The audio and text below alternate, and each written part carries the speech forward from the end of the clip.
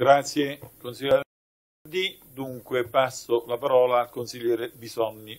Prego. Grazie Presidente.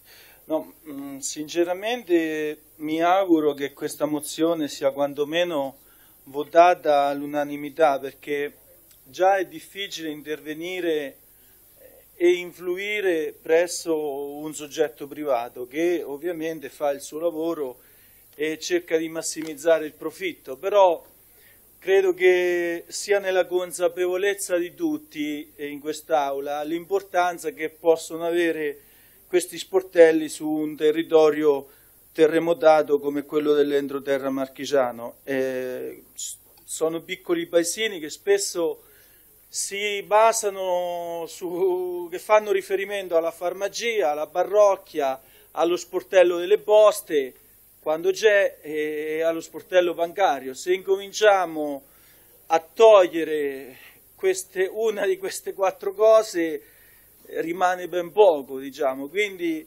significa in un certo senso quasi condannare quei territori a, a un isolamento graduale che poi non, non può portare al ritorno eh, di una comunità come invece dovrebbe essere.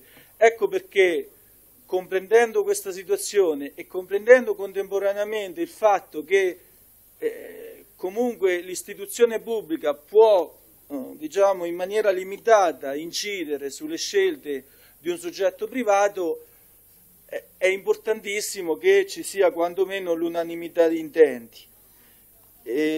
Credo che anche se per eh, la banca quei territori possono essere territori in cui diciamo, c'è una rimessa economica, penso che il governo in questo caso potrebbe, eh, e hanno fatto bene i firmatari della mozione, indicare eh, come soggetto diciamo, eh, il governo, come soggetto che può incidere, credo, dicevo, che il governo può eh, anche trovare degli accordi, anche eh, eh, economici, nei limiti di quello che la normativa consente, ovviamente, delle agevolazioni fiscali, non so, penso che una, una forma possa essere trovata in modo tale da eh, stimolare la banca, eh, far capire le esigenze del territorio e, eh, e, far ritornare questa banca storica per il territorio marchigiano sui suoi passi. Ecco, io me lo auguro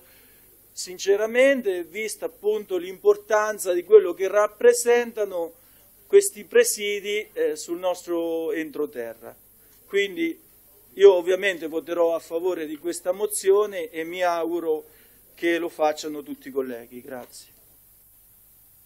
Grazie consigliere Bisonni.